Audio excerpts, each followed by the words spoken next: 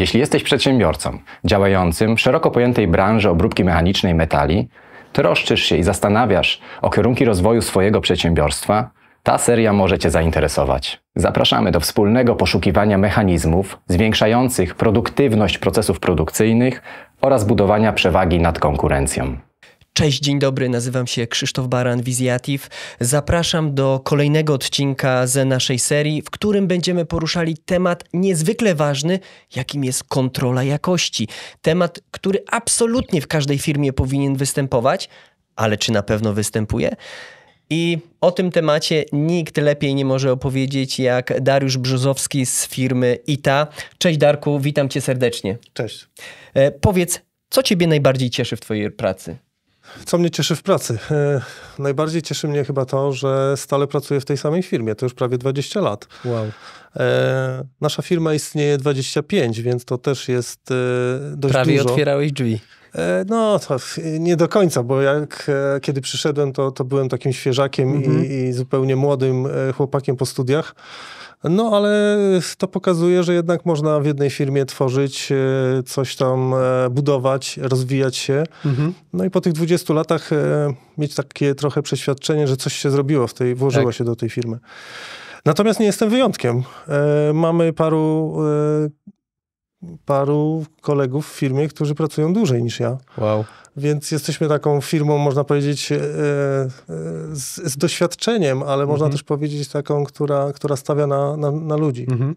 I ten Rewelacja. potencjał ludzki w naszej branży się bardzo przydaje, bo e, od projektu do projektu uczymy się coraz nowszych rzeczy, innych rzeczy, bo co klient to inne potrzeby, co klient to inna branża. Tak naprawdę nie działamy w jednej branży, czyli nie działamy na przykład tylko w automotywie, bo i automotyw, i lotnictwo, i spożywka się zdarzy. E, zupełnie abstrakcyjna jakby z punktu widzenia metrologii. Co mierzyć Mhm. e, w, w, w spożywce, prawda? No, no, a my mierzymy. Mierzymy położenie etykiety na, Mhm. na opakowaniach. My mierzymy jędrność groszku. Myślałem, że powiesz, czy jest dobre. E, to, to później, jak już zmierzymy, to wtedy, to wtedy sobie to Okej. zjadamy. Czasami tak się zdarza. Ostatnio były miśki Haribo, fajnie było. Kurczę, bo kilka opakowań tak, tak, udało się, się pozyskać. Natomiast, e, no, tak jak powiedziałem o tym groszku, jędrność groszku e, wydaje się abstrakcyjne, ale my to też mierzymy. E, Firma się rozwija, w związku z tym kiedyś e, byliśmy mniejsi, teraz musieliśmy troszeczkę struktury zbudować, ale e, w międzyczasie otworzyliśmy też nasze laboratorium wzorcujące. To Mhm. też jakby odpowiedź na potrzeby naszych klientów. Uzyskaliśmy akredytację Polskiego Centrum Akredytacji. Zbudowaliśmy laboratoria pomiarowe, w których świadczymy Mhm. usługi, więc teraz mamy ponad e, 85 urządzeń dla, dla klientów, czyli one nie służą tylko i wyłącznie do tego, żeby coś sprzedać, Mhm. e, pokazać, ale służą do tego, żeby właśnie świadczyć e, usługi. Łącznie z tomografią komputerową, która jest, e, no to jest, to też pokazuje, jak innowacyjni jesteśmy, Mhm. bo my żeśmy jako pierwsi właściwie w Polsce wprowadzali tomografię komputerową, Mhm. a w latach 2000 wprowadzaliśmy e, skanowanie 3D. To wtedy te, te patrzyło się na te Już skanery. 24 lata temu. Tak.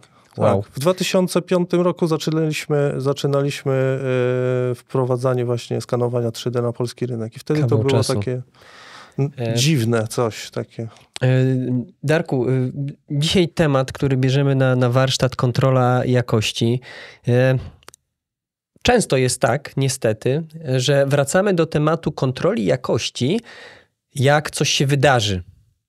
E, I jak dobrze pamiętam, w styczniu e, media e, podawały informacje o awarii jednego z samolotów Boeinga, w którym odpadły drzwi. Tam na poziomie e, 5000 metrów e, nad ziemią wyleciały drzwi, masę nagrań z internetu, ludzie nagrywali. Swoją drogą, kurczę, wypadły drzwi, a ty masz głowę, żeby o kurde, zrobię z tego rolkę na Instagrama, nie? E, Nieważne. E, Ale ja przeglądając te informacje się tak zastanawiałem, okej, jaka była przyczyna, czy kontrola jakości, czy proces produkcyjny. Mm, e, I, I mówię to o tym, bo jakby to przysłowie. E, Polak mądry po szkodzie jednak jest, nie? Jak to z twojej perspektywy wygląda? Czy to jest tylko takie moje e, laickie trochę podejście, że rzeczywiście tak jest? Czy, czy jednak kontrola jakości ona jest, jest pilnowana i, i raczej firmy do tego przywiązują e, mocną uwagę? To zależy. To troszeczkę y, zależy od klienta, zależy od y, biznesu, zależy od branży. Natomiast to, co wspomniałeś, ten, ten przesławny już samolot y, Boeinga MAX, mhm. który miał różne problemy po drodze, no tam podobno brakowało jakichś e, śrub, które zostały Drobiazg. prawdopodobnie niedokręcone przez pracownika. I teraz, e, no oczywiście można spekulować, e, czy to pracownik nie dokręcił, mhm. czy może procedura jakoś była zachwiana i, i w tym momencie on tego nie zrobił, bo nie musiał, bo nikt tego nie sprawdził. Niemniej jednak Boeing przyznał się do, e, do jakby do tego, że to jest ich wina, mhm. bo były też takie mm, newsy mówiące o tym, że może te śruby odpadły w momencie, jak te drzwi już, że tak powiem, były na zewnątrz samolotu, ale Boeing się przyznał, zapłacił 160 milionów odszkodowania. Mhm. FAA uznało, że, że, e, że to jest ich wina. E, zresztą no nie pierwszy raz. Ale w moim odczuciu jest to troszeczkę mm, próba. My tak widzimy taką tendencję, że, że próbuje się zaoszczędzić wszędzie, mhm. w, całych, w całym obszarze produkcji. W związku z tym no, najłatwiej jest zaoszczędzić na tym, czego nie widać, czyli mhm. no, na jakości. Tak? Mhm. Y I wydaje się, że, że te kilka, kilkanaście lat oszczędzania no, wychodzą gdzieś tam E, że tak powiem, bokiem.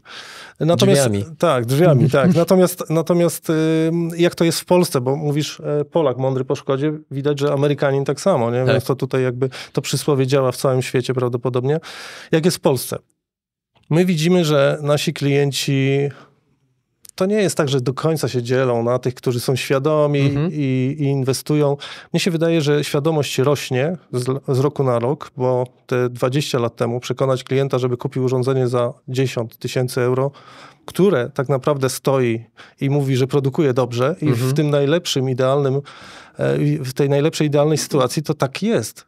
E, proces jest ustabilizowany, części są e, produkowane w tolerancji, a my tylko i wyłącznie potwierdzamy super. Mhm.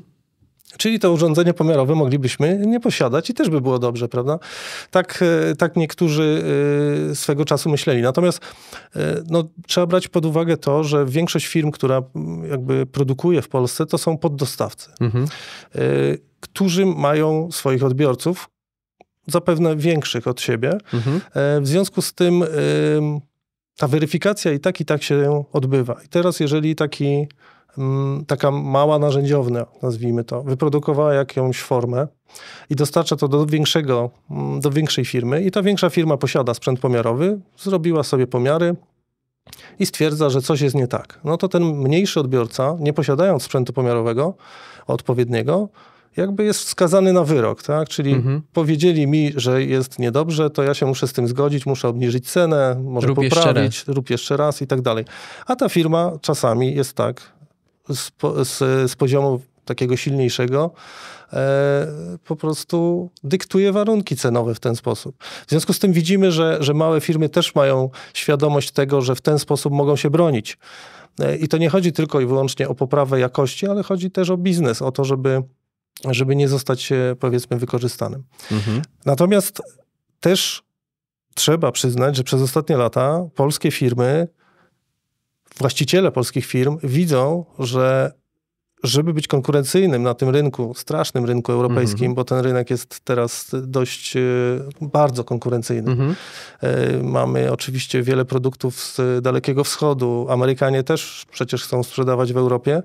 W związku z tym ci polscy przedsiębiorcy, widząc to, starają się uzbroić najlepiej jak się da, żeby nie produkować właśnie ceną, tak jak mhm. to robią, e, no, powiedzmy, Chińczycy, mhm. tak? czyli produkujemy najtaniej jak się da i w ten sposób zdobywamy dostawcę, tylko chodzi o to, żeby wyprodukować dobre, jakościowo e, produkty, które będą miały swoją cenę, ponieważ klient nadal w Europie jest w stanie zapłacić więcej za produkt, który będzie dobry, może taki nawet luksusowy, lekko, mhm. lekko w tą stronę idąc. E, w sytuacji, kiedy rzeczywiście dostarczam ja jako mała firma do dużej firmy, gdzie mam z góry założone wymagania co do posiadanych certyfikatów, y, procedur, kontroli jakości, rzecz jasna, muszę to mieć, bo inaczej po prostu nie podejmę takiego tematu. Natomiast y, jest wiele e, małych i średnich y, przedsiębiorstw, By the way, w Polsce małe i średnie przedsiębiorstwa generują blisko co drugą złotówkę w PKB. E, wiesz, nie mają produkują dla polskich firm, dla zagranicznych firm, gdzie niekoniecznie jest takie obwarowanie e, co do certyfikatów czy, czy jasnych procedur. I o ile duże firmy mają na to przeznaczone budżety, na pewno łatwiej jest im wdrożyć technologię, kupić narzędzia, e, urządzenia za dziesiątki tysięcy złotych. Natomiast, e, no i wiesz, jeżeli ja mam firmę 50-osobową, to jednak wydanie pieniędzy na, na, na, na tą kontrolę jakości no musi być naprawdę mocno uzasadnioną, uzasadnione. E, I, I to jest właśnie pytanie, dlaczego powinniśmy inwestować w, kontroli jako, w kontrolę jakości, ale z takim właśnie naciskiem na te firmy, dla których, no kurczę, to może być nie, nieoczywisty wydatek, jak na przykład zakup maszyny CNC.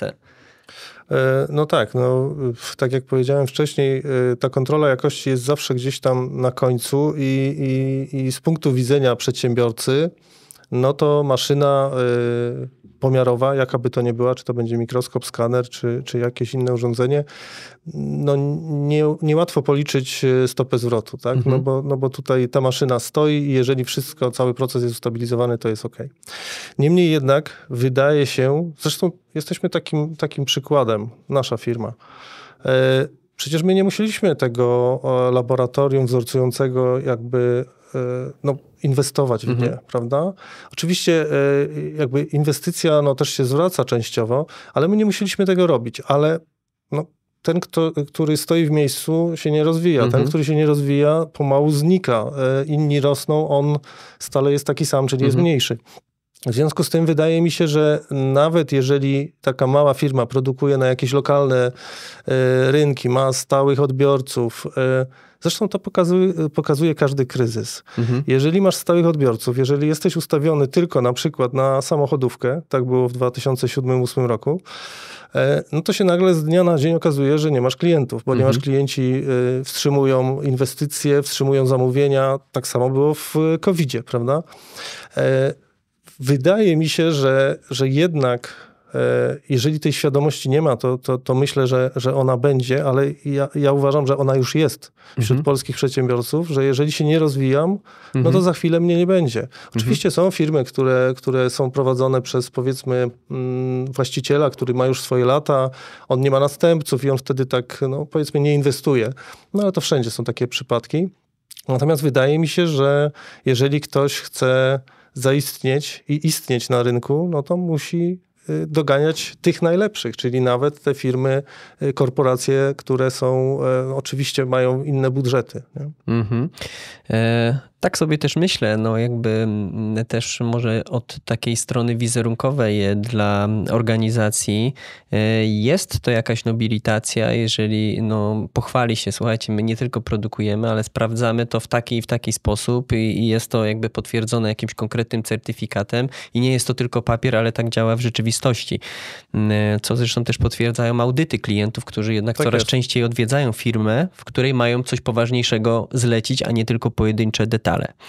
E, fajnie, mnie, mnie na pewno bardzo cieszy to, co mówisz, że jednak jest ta świadomość wśród e, przedsiębiorstw, przedsiębiorstw produkcyjnych, że, że ta kontrola jakości to nie jest zło konieczne, tylko jest, jest to kierunek, o którym my musimy stale myśleć, nie tylko patrzeć na e, narzędzia, na, na moce produkcyjne.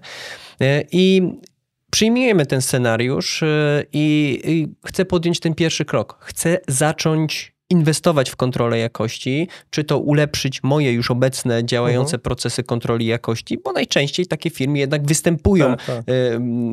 mniej lub bardziej prowizorne, a czasem zaawansowane. Ale załóżmy, że chciałbym iść w ten taki topowy level, jakby dążyć do tej doskonałości w zakresie kontroli jakości, od czego powinienem zacząć, ale też czego unikać, żeby no, uczyć się na błędach innych, a niekoniecznie na swoich. Wydaje mi się, że w tym momencie y, tu od strony biznesowej zacząłbym od tego, żeby popatrzeć na rynku, y, jakie programy y, są w tej chwili dostępne gdzie mógłbym troszeczkę pozyskać innych funduszy niż tylko swoje wyjęte z kieszeni, czy też jakiś tam prosty leasing. My przez ostatnie naście lat braliśmy udział w wielu projektach które są związane z unijnym dofinansowaniem. E, czasami to nie jest tylko unijne, ale też rządowe dofinansowanie. W związku z tym proponowałbym najpierw popatrzeć tutaj od tej strony, e, czy czasami nie mogę wykorzystać e, pieniędzy, które i tak są na rynku, po to, żeby się do. Mm, żeby uzupełnić swój park maszynowy. To jest jedno. Druga rzecz, wydaje mi się, że, mm, że nie ma takiego, takiej prostej odpowiedzi, że kupisz mhm. sobie to urządzenie i wtedy będzie dużo lepiej. E, tak jak powiedziałeś, w firmach oczywiście istnieje system zarządzania jakości, bo, bo zazwyczaj w każdej firmie, która coś produkuje, jest jakiś system e, zarządzania jakością, a doposażanie się no jest e, zależne od tego, co produkujemy. Gdybym miał odpowiedzieć, wiadomo, no, my się obracamy w, w w firmach, które produkują, najczęściej skrawają y, jakieś, obrabiają materiały. W związku z tym taka maszyna współrzędnościowa jest to taka podstawa. I o ile ta maszyna współrzędnościowa, taka klasyczna CMM, e, kiedyś była taką nowością, o tyle teraz już stała się standardem i nawet mniejsze firmy posiadają takie maszyny. Mhm. Różnica jest, e, wydaje mi się, w tym, że kilkanaście lat temu tą maszynę się kupowało trochę dla referencji, trochę, żeby pokazać innym, że ja mam, a inni mhm. nie mają. A w tym momencie, jeżeli już dochodzi do zakupu, to jest, konkret, to jest rozmowa konkretna. Tak? Ja potrzebuję to i to i to. I jeszcze, żeby ta maszyna dawała korektę na przykład do obrabiarki, żeby mógł ją wykorzystać nie tylko do takiego zwykłego mierzenia. I to jest, i to jest fajne, bo to jest rozwój. E, natomiast jakby patrząc na, na to, co sprzedajemy w Polsce, to e, bardzo dużo sprzedajemy skanerów 3D, bo to jest urządzenie, które można zastosować w wielu y, gałęziach. Y, uniwersalne, dość proste w obsłudze i dające bardzo dużo informacji. Y, to nie tylko przemysł 4.0 to wymógł, bo, bo tak się mówi, ale to tak nie jest. E, to już wcześniej były, były próby związane z tym, żeby gromadzić e, dużo informacji. Natomiast skaner pozwala na to, żeby skanować element i faktycznie posiadać e, informacje o każdym jakby punkcie na, na elemencie, co w odróżnieniu do, do maszyny współrzędnościowej mm, no nie jest, na maszynie nie jest to takie proste. I, i teraz taka firma, która do tej pory używała klasycznych przyrządów pomiarowych, czyli suwmiarek, nie wiem, mikrometrów, może jakiegoś prostego mikroskopu, jak ona się przesiada na taki, e, na taki skaner 3D, no to się zmienia w ogóle, może się zmienić bardzo dużo, może się zmienić nawet e, obieg dokumentacji, prawda? Możemy przejść sobie z 2D na 3D. Oczywiście to nie jest takie, że strykniemy mhm. palcami mhm. i następnego dnia już będzie, bo widzimy to na przykład w lotnictwie, w tej branży, że, że kiedyś był rysunek przez 20, 30, 50 lat był ten sam i się to produkowało. Teraz jest tendencja do tego, żeby iść właśnie w modele 3D, mhm. co jest fajne. Mhm. E, mamy dużo więcej e, informacji i dużo mniej pomyłek, bo, mhm. bo te rysunki jednak mogły się tam gdzieś e, no powiedzmy wersja nie ta, tak, czyli tak. się okazywało, że, że była nowa wersja, której nikt nie widział i, i tak dalej. Teraz jest to dużo, e, wydaje się być dużo łatwiejsze i prostsze. Mhm. E, także no nie ma prostej odpowiedzi, bo jeżeli ktoś na przykład toczy, to jego e, bardzo interesuje chropowatość, a inny e, produkuje wypraski i właściwie żadnej chropowatości mierzyć mu się nie chce albo nie potrzebuje. I tutaj pod, podchodzimy bardzo indywidualnie. Tu, tu fajnie powiedziałeś, tak? Maszyny y, współrzędnościowe, skanery y, jako, jako, jako narzędzia, przede wszystkim skanery, które mogą y, dać nowe możliwości w firmie y, i to w różnym kierunku, czy to model based definition y, w oparciu o model 3D, y, czy jeszcze inne historie. Natomiast Wydaje mi się, po tym co powiedziałeś, że no, zakup urządzenia nie przyniesie nam sukcesu. Może jakby jest, jest spora szansa, że, że to się jakby w najgorszym przypadku zakurzy i, i nic z tego nie będzie. Natomiast y, jeżeli dobrze rozumiem, tak, poza, poza obszarem maszyn, szkolenie, podnoszenie kompetencji, podnoszenie procesów, czy Dzisiaj standardem albo może dobrą praktyką jest właśnie prowadzenie tego klienta za rękę w postaci właśnie, nie wiem, analizy, w postaci audytu, w postaci potem szkoleń i, i, i cały czas y, jak takiego audytowania, czy wręcz certyfikacji kadry w zakresie tego, żeby patrząc od strony właściciela, miał pewność, ok, dostałem dotację, jest lżej, ale jeżeli ja to kupuję za swoje pieniądze, wydaję setki tysięcy złotych na to, no to jednak chciałbym wiedzieć, nie wchodząc oczywiście w szczegóły, bo mogę na to nie mieć czasu, że ten sprzęt jest wykorzystywany jak trzeba. Tak, i, i że w ogóle jest wykorzystywany, no. bo to jest e, najważniejsze. E, dla nas najważniejsze e, w momencie, kiedy instalujemy jakieś urządzenie, jest to, żeby klient chciał go używać. No bo nie ukrywajmy, y, najlepszym marketingiem jest taki marketing y, szeptany mhm. Y, i my na niego liczymy. W związku z tym bardzo zależy nam na tym, żeby te wdrożenia były takie, że klient faktycznie będzie używał mhm. systemu. Natomiast czasami zdarza się, tak jak mówisz, że, że gdzieś tam przykurzony lekko sprzęt stoi. czasami jest to z uwagi na to, że, że te pomiary są wykonywane rzadko i powiedzmy są dość specyficzne, takie urządzenia też mamy. Natomiast wracając do skanerów, e, to to jest urządzenie, które e, nigdy w żadnej firmie nie leży, bo e, nie ma na to czasu. Można znaleźć takie e, aplikacje, bo to nie chodzi tylko o kontrolę jakości, mm -hmm. możemy robić inżynierię odwrotną, tak? Możemy e, skanować faktycznie, dorabiać sobie sami części, tak? Które, które gdzieś tam się zużyły w maszynie, której, do której już nie mamy dokumentacji. I to jest właściwie to, co nasze laboratorium e, pomiarowe e, w firmie robi codziennie, czyli e, mierzymy usługowo mm -hmm. różne elementy, ale klient też to może robić. I teraz i teraz czy, czy, czy, trzeba, e, czy, czy trzeba mieć no oczywiście trzeba mieć wykwalifikowaną e, kadrę, to co mówiłeś, tak? Certyfikaty. E, staramy się, żeby przeszkolić tak użytkowników, żeby potrafili wykorzystać jak najbardziej urządzenie. Oczywiście organizujemy co jakiś czas takie szkoleniach, w których można e, uczestniczyć. E, no to nie od, to niestety e, wymaga też trochę praktyki. W związku z tym ten użytkownik musi mierzyć u siebie. Nie? Bo wiemy sami, że jeżeli pojedziemy na jakieś szkolenie, a później przez miesiąc nie będziemy wracali do tego, co było na tym szkoleniu, no to zapomnimy. Więc tego doświadczenia jakby nie jesteśmy w stanie nauczyć, ale staramy się z uwagi na to, że mamy dość duże doświadczenie z różnymi aplikacjami, to jesteśmy w stanie podejść do każdego tematu i faktycznie przeszkolić każdego e, użytkownika e, tak, żeby, żeby sobie radził. E, to jest zawsze człowiek, więc róż, różny poziom wiedzy tutaj też na wejściu mamy. To, że mamy urządzenie za set tysięcy złotych, jak powiedziałeś, czy tam 10 tysięcy euro, to nie znaczy, że ten użytkownik może powiedzmy nic nie wiedzieć na temat metrologii, bo to troszeczkę tak nie działa, prawda? Mhm.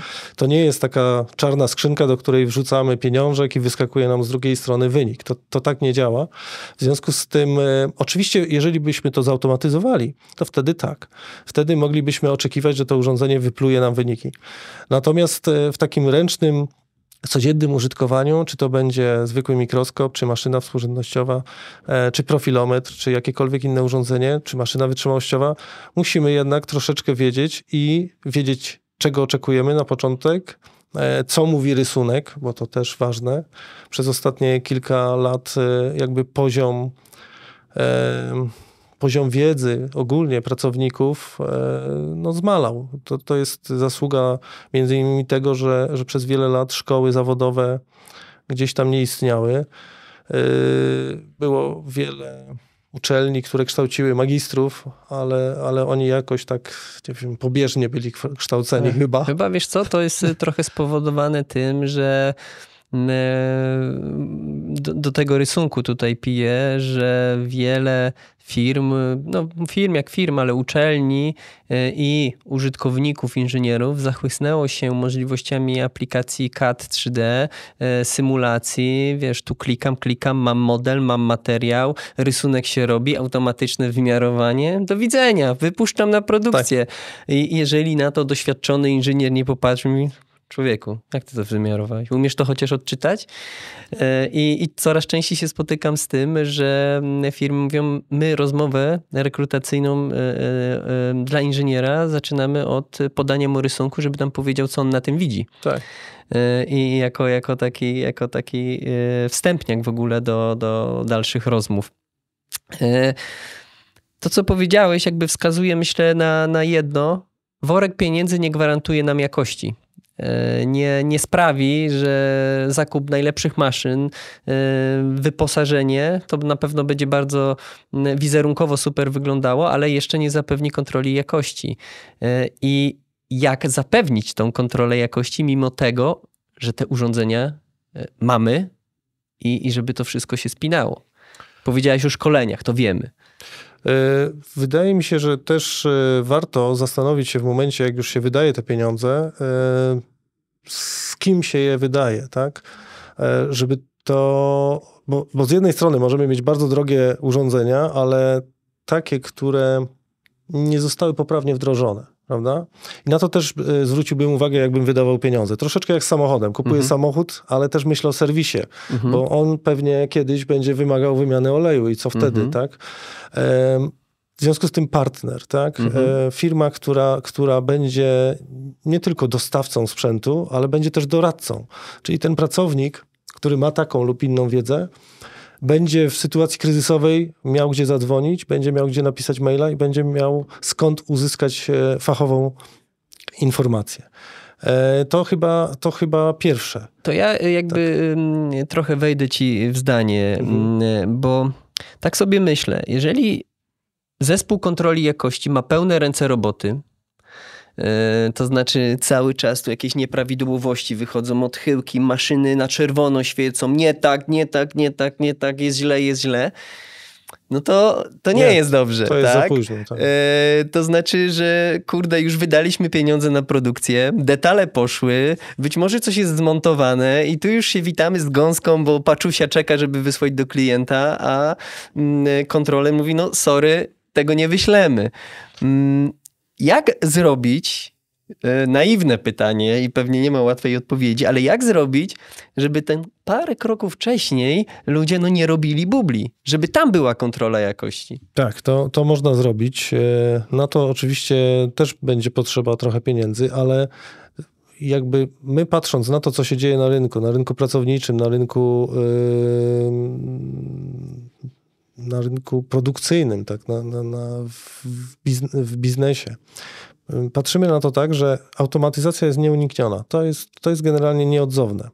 W tym momencie e, każdy, kto myśli o przyszłości, czyli myśli o tym, co będzie robił za 5 lat, powinien myśleć już dzisiaj, jak automatyzować swoje procesy nie po to, żeby wyeliminować kompletnie człowieka, bo to się nie da. To też tak nie jest, że jak już będzie tam 20 robotów, to nie będzie żadnego człowieka, bo, bo, bo pewnie będzie potrzebny technolog, który to wszystko poukłada i, i człowiek, który to przywiezie i tak dalej.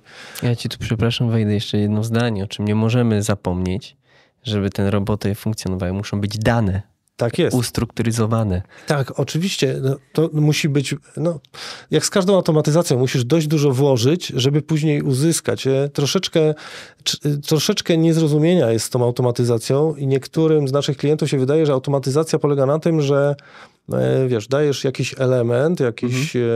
E, detal do pomiaru i automatyzacja polega na tym, że automatycznie to mierzy wszystko, co tak. tam jest na rysunku. Nie? No to troszeczkę nie o tym mówimy. Mówimy bardziej o tym, że produkujemy dość dużo sztuk, e, takich samych, bo wtedy to jest duże ułatwienie, bo Mhm. jak każda jest inna, to jest problem. I, i wtedy w, włączamy automatyczne pomiary, automatyczną obróbkę, automatyczny transport. E, I wtedy ten proces powinien w założeniach e, być stabilny, Mhm. Szczelny. szczelny. Codziennie robimy to samo, nieważne czy jest poniedziałek, piątek e, czy, czy sobota, bo możemy Mhm. też produkować w weekendy. I kiedyś zawsze takim dużym problemem były pomiary z uwagi na to, że ta automatyzacja jakby pomiarów nie wiem, nie cieszyła się powodzeniem, nie wiem jak to nazwać, bo były też możliwości. Mhm. Ale generalnie się mówiło, że wyprodukujemy i tak jak ty mówiłeś, idziemy do, do laboratorium, tam w laboratorium jest duża kolejka, bo każdy przychodzi. Czekają na wyrok. Tak, i, i prawda, i po iluś godzinach otrzymujemy dopiero informację, że tak, cała partia sztuk, które pro, produkowaliśmy dzisiaj e, jest zła. No to trochę późno, tak? No Mhm. bo dostaliśmy tę informację, a to już prawie, tak jak mówiłeś, tir wyjechał za bramę. My proponujemy, właściwie nie my, to, to świat proponuje i, i, i jeżeli tego nie zrobimy, to, to, to prawdopodobnie stracimy dużo pieniędzy, y, mając firmę produkcyjną, e, żeby zautomatyzować ten pomiar i żeby wrzucić pomiary pomiędzy operacje też, po to, żeby wiedzieć, że, e, że w którym nawet momencie ja, ja mam problem i co się na przykład się stało z jakąś maszyną e, i ona w tym momencie e, zaczyna wyrzucać błędy. Tak? Optimum byłoby, aby po pomiarze wrzucać jeszcze korektę do tej maszyny i żeby ta następna e, wyprodukowana sztuka była jeszcze lepsza, prawda? bliżej środka tolerancji w tym, w tym jakby znaczeniu. To się dzieje, my takie projekty realizujemy. E, Właściwie już nawet w latach e, 2000 takie realizowaliśmy troszeczkę in, innymi jakby metodami. W sumie roboty się trochę zmieniły, ale to nie zawsze musi być robot, bo to może być zwykły podajnik, który przesuwa części. Oczywiście zmieniło się oprogramowanie, więc możemy teraz gromadzić dużo więcej informacji. E, Nawet same dyski pozwalają na gromadzenie więcej informacji. Kiedyś to było tam ograniczone do linijek z, z wynikiem i tyle. E, Więc wydaje się, że w ten sposób możemy osiągnąć sukces. E, Tak jak e, opowiadasz o, o, o robotyzacji, automatyzacji, e, tak pomyślałem sobie, że, że w roli trochę słuchacza pomyśleć, o kurde, dobrze się gościowi gada, jak mam stałą produkcję, to, to tak mogę sobie robić. No ale no, rzeczywistość jest y, nierzadko inna. E, Nawet y, w rozmowie z Januszem Walczakiem rozmawiałem o tym, no, że dzisiaj miks produkcyjny to jest powszechność i w kontekście miksu produkcyjnego i kontroli jakości, jak tu ugryźć ten temat? No bo gdy mam ścieżkę detali takich samych, jest zdecydowanie łatwiej, ale kiedy wiesz, ja dzisiaj robię dla klienta jak wspornik, za chwilę jakąś formę, za chwilę jeszcze inny detal, jak się z tym tematem odnaleźć? No tak, tutaj trzeba mieć jak najbardziej uniwersalne narzędzia pomiarowe, takie, które pozwalają właśnie e, dostosowywać się do, do tej produkcji, którą, którą Mhm. mam zadaną, którą muszę wyprodukować. No, wtedy e, oczywiście jakby urządzenia, które jesteśmy w stanie zaoferować są troszeczkę inne. E, Ale ale też są rozwiązania. To, to nie jest tak, że, że nie da się, e, że, że jakby mamy dwa, dwie możliwości. Albo automatyzacja pełna, albo czekamy do końca i na końcu mierzymy. nie? Ale tego wiemy, że tego nie chcemy. Właśnie, bo tego nie chcemy. W związku z tym pośrednio możemy też mierzyć na przykład e, super rozwiązanie na produkcję, pomiary pneumatyczne. Mhm. E, Są to pomiary, które nie wymagają specjalnych warunków, są bardzo dokładne i możemy je realizować bezpośrednio przy maszynie. Druga rzecz, albo druga, inna rzecz, możemy, jeżeli na przykład szlifujemy albo toczymy, możemy wbudować w maszynę pomiar online i po uzyskanym takie macki pomiarowe i po uzyskaniu e, określonej średnicy maszyna przestaje szlifować. Mhm. Czyli nie tak, że mamy sondę, która przyjeżdża i mierzy, tylko w momencie obróbki przez cały czas mierzymy Mhm. e, wymiar i, i w momencie uzyskania tej e, określonej, określonej wartości maszyna przestaje szlifować. Takie rozwiązania też są. Więc to nie jest, wydaje mi się, kwestia tego, czy się da, czy się nie da, tylko Mhm. bardziej, czy chciałbym to zrobić. Mhm, pochylić się nad Tak, tym tak. e, I wtedy tematem. rozwiązania są. Oczywiście nasz zespół, e, tak jak mówiłem na samym początku, e, odwiedza klientów i stara się doradzić. Czasami te nasze porady są traktowane jako, a tam przyjechał, chce sprzedać i tak dalej. No wi- wiadomo, y, jesteśmy firmą handlową, więc generalnie zależy nam na tym, żeby, żeby urządzenia, które mamy w ofercie sprzedawać. Niemniej jednak staramy się być bardziej firmą inżynierską niż handlową. W związku Mhm. z tym podchodzimy do tematu e, potrzeb klienta jakby na, na samym początku. Czyli najważniejsze jest to, co też mówiłem o tym, że cieszy nas, jak sprzęt działa u klienta. A on działa wtedy, kiedy jest potrzebny. A jest potrzebny wtedy, kiedy został kupiony do aplikacji, która boli klienta. Tak, no, no tak, to musi, Mhm. tak to działa. W związku z tym y, ci nasi doradcy, e, bo nasza firma to nie tylko sprzedawcy, którzy tak jeżdżą Mhm. sobie samochodzikami dookoła Polski. Z walizką. Tak, no y, akurat z laptopikiem można by powiedzieć, prawda? Z laptopikiem taki typowy e, sprzedawca, ale to też dużo inżynierów aplikacji, product managerów, którzy skupiają się na tej części technicznej. I nasz, e, nasza strategia, nasza filozofia e, firmy opiera się na tym, że mamy jak najlepiej dobrać e, aplikację albo sprzęt do aplikacji ten, w ten Mhm. sposób. E, I posiadając jakąś tam ofertę e, w portfolio, jesteśmy w stanie to zrobić. No, posiadając też oczywiście doświadczonych ludzi, którzy przyjeżdżają, często się to zdarza, przyjeżdżają do kogoś, ktoś opowiada, opowiada o swoim problemie, a ten już wie, e, że on to już przerabiał u innego klienta i on wie, jak to zrobić po prostu. I to, I to jest świetne, bo wtedy nie wymaga odkrywania koła od nowa, tylko jakby może kopiujemy złe słowo, ale, ale troszeczkę tak, e, no bo na tym polega doświadczenie, wdrażamy z marszu coś, co już zostało wcześniej e, wdrożone i na czym powiedzmy zjedliśmy zęby. Powiedziałeś z marszu, brzmi ok. Czy to znaczy, że jeżeli zdecyduję się na upgrade mojej kontroli jakości, y, o, o mackach powiedziałeś, o, o pomiarach pneumatycznych, to czy w stosunkowo krótkim czasie, mam na myśli, nie wiem, tydzień, dwa, może miesiąc, jestem w stanie swoje procesy może nie doprowadzić do, do, do maksymalnych możliwości, ale, ale znacznie zupgrade'ować? Nie, no chyba, chyba mówimy tutaj bardziej, jeżeli, jeżeli procesy są, że tak powiem, e, no, zapomniane albo Okej. troszeczkę odłożone na bok, tak bym to nazwał, w jakiejś firmie, to chyba nie da się tego naprawić w ciągu miesiąca. Okej. E, Można oczywiście. e, Czasami są takie potrzeby, że no jak to mierzycie? No mierzymy to tak i tak, a jest urządzenie, które to robi trzy razy szybciej. No i wtedy wdrożenie takiego urządzenia to faktycznie to jest tydzień, e, załoga się, się nauczy używać i powiedzmy, że mamy coś takiego, że po, po jakimś tygodniu, dwóch mamy efekt, tak? Mhm. taki natychmiastowy. Natomiast jeżeli, jeżeli y, w firmie jest tak, że to nie jest tylko kwestia jednego prostego urządzenia, bardziej zaawansowanego, mniej, ale urządzenia, tylko, tylko chodzi o to, że, że a na- najgorsze są jakby takie przypadki, kiedy trzeba jeszcze rozwiązać problem, bo coś Mhm. się dzieje po drodze, tak? To wtedy to zajmie więcej czasu. Okej. Tak. Okej, wtedy musimy się nauczyć, przygotować na e, większą e, naukę.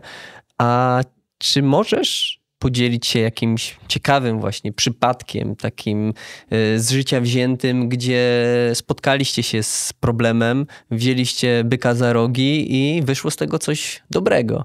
Taka historia ku pokrzepieniu serc, słuchajcie, warto. E, No tak, takich historii pewnie, pewnie kilka, kilkanaście można by było znaleźć. E, No słuchaj, z takich znanych. Firma, która produkuje silniki, ale też baterie.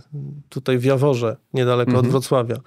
Nie będę wymieniał nazwy, bo to kryptoreklama może by była, nie wiem jak to odbierać. W każdym bądź razie wdrożyliśmy u nich e, właśnie skaner 3D e, do skanowania e, baterii. I ta firma z gwiazdą, Mhm. tak, Mamy zresztą wspólny artykuł na ten Mhm. temat, więc chyba mogę, Zalinkujemy. mogę, mogę chętnych. powiedzieć. Tak, tak, na, na LinkedInie mamy taki, Mhm. taki właśnie artykuł o, o tym wdrożeniu. E, I właśnie Mercedes używa naszego skanera do tego, żeby, żeby mierzyć swoje, swoje baterie. E, I to im, e, bo oni wcześniej to robili e, z wykorzystaniem maszyny współrzędnościowej, co było no, długotrwałe, a to było e, ewidentne duże przyspieszenie. Ale mamy inne firmy, nie wiem, ba bardziej lub mniej znane. E, Firma Borg-Warner, e, Rzeszów e, Jasionka. To jest firma, która używa naszych systemów optycznych do pomiaru swoich wałków i koł, kół kompresora, czyli wnętrza turbosprężarki. Te elementy kręcą się z bardzo dużą prędkością obrotową, w związku z tym muszą być bardzo dobrze wykonane i to Borg-Warner doskonale wie i, i, i, i, produkuje takie elementy. Mm, Całe, całe turbosprężarki są ich produktem. I te urządzenia, które mamy zaaplikowane na liniach produkcyjnych, ym, są po prostu jakby, jakby im to zabrać, to chyba, chyba by kompletnie nie wiedzieli jak produkować, bo one po prostu e, służą każdemu operatorowi i są e, wykorzystywane bardzo, bardzo, bardzo e, często. No ale mamy też jakieś takie wdrożenia w mniejszych firmach, gdzie zwykłe, powiedzmy, zwykłe, zwykła maszyna współrzędnościowa połączona z, jakimś, e, z jakąś właśnie maszyną daje korektę e, i to jest dla takiej małej narzędziowni bardzo dużo. Mhm. Mówiliśmy o automatyzacji, o wstawianiu roboty, robotów na, na linie produkcyjne, które będą nam mierzyć i to jest na pewno kierunek rozwoju dla, dla wielu firm, ale z perspektywy twojego zajęcia zawodowego, y, gdzie upatrujesz rozwój metrologii? Y, Co będzie w przyszłości tematem numer jeden i tak jak powiedziałeś, jeżeli firmy myślą o rozwoju, co będą chciały za 5 lat, to już o tym powinny myśleć. Na co dzisiaj firmy powinny zwracać uwagę, nawet jeśli tego nie uruchomią już teraz. Jeżeli chodzi o metrologię, bo o tym będę się starał tutaj e, powiedzieć i odpowiedzieć, to widzimy, obserwujemy duży e, potencjał tomografii komputerowej w tej chwili. To jest e, na pewno technologia, która będzie się rozwijała i to jest na pewno technologia, która będzie coraz bardziej mm, wchodzić na rynek, wchodzić do, do, do firm. To jest jedna rzecz. E, To jest, to jest technologia, która pozwala mierzyć nie tylko z zewnątrz, ale też wewnątrz. A druga rzecz to wszyscy, jak jeden mąż, chcą mierzyć szybciej, no bo chcą mieć tą informację szybciej. W związku z tym rozwój systemów właśnie optycznych jest nieunikniony. To Mhm. y, będzie mm, z czasem wypierało wszelkiego rodzaju pomiary stykowe, które są dużo wolniejsze. E, W tej chwili największym problemem tych wszystkich pomiarów optycznych jest e, czystość części, jest też czasami dokładność tych urządzeń, ale myślę, że to z biegiem czasu będzie rozwiązywane i ten postęp technologiczny w tą stronę będzie, będzie się e, e, posuwał. I, I tak, i to są takie dwa obszary, gdzie, gdzie podejrzewam, że metrologia przemysłowa będzie się rozwijała w ciągu najbliższych e, pięciu, pięciu może dziesięciu lat. Zresztą widać po, to nawet po, po rynku producentów e, maszyn Mhm. i urządzeń pomiarowych. Oni tutaj bardzo dużo, dużo inwestują. Rewela, e, miejmy nadzieję, że, że tak będzie, że te urządzenia będą coraz bardziej dostępne, coraz bardziej tańsze, skoro będą coraz bardziej e, e, masowo wykorzystywane. Bardzo Ci dziękuję za rozmowę. Drodzy widzowie, drodzy słuchacze, tak jak w przypadku innych rozmów w temacie około obróbki mechanicznej, jest to wstępniak, jest to, jest to e, nasze zaproszenie wysłane do Państwa, e, abyśmy się wspólnie spotkali 24 września we Wrocławiu. Będzie tam również Darek, będą też inni partnerzy e, i gorąco Was zachęcamy do dyskusji. Będziemy się dzielić z wiedzą, nie, nie trzymamy jej po kieszeniach w głowie. Chcemy się z Wami podzielić, także Bardzo i gorąco serdecznie Was zapraszam. W komentarzu w opisie odcinka damy, damy link do rejestracji. Mam nadzieję, że ta rozmowa bardzo się Wam podobała. Jeżeli tak było, Podzielcie się w komentarzach. Kontakt do nas jest dostępny. Będzie nam bardzo miło usłyszeć Wasze zdanie. A jeżeli też coś było nie tak, to też chętnie jesteśmy otwarci na krytykę. Bardzo dziękuję. Ja dziękuję bardzo i też zapraszam ze swojej strony na, na nasze spotkanie. Mam nadzieję, że e, uczestników będzie na tyle dużo, że będziemy mieli problem, żeby z każdym się, się e, spotkać osobiście, ale na pewno nasze zespoły będą starały się, tak jak powiedziałeś, odpowiedzieć na każde pytanie, jeżeli takowe będą. Mhm. Rewelacja. Dzięki, do usłyszenia. Cześć.